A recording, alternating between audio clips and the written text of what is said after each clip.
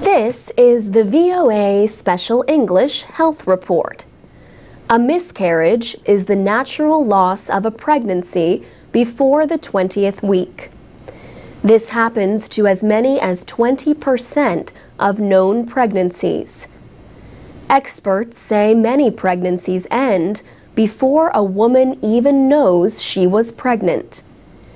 Miscarriages are usually caused by chromosome problems that prevent the baby from developing.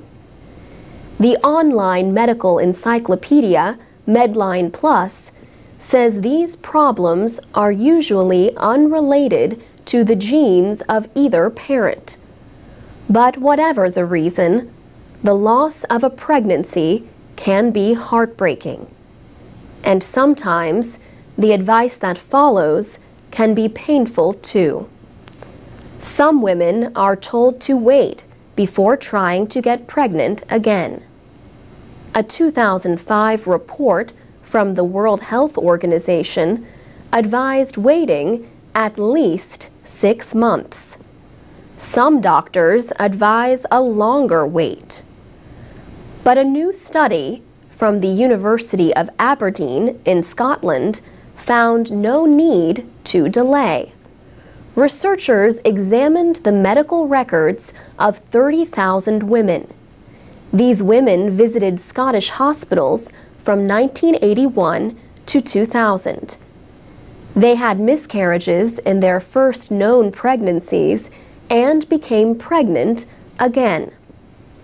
The study found that 85% of women who waited less than six months to get pregnant had live births.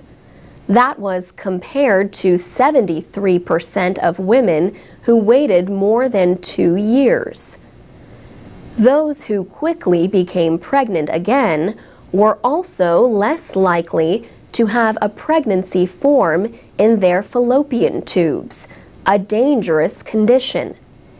And they were less likely to have a stillbirth, the loss of a fetus after 20 weeks. They were also less likely to give birth by cesarean section. And they had fewer preterm births and fewer babies with low birth weight. The report appears in BMJ, formerly the British Medical Journal.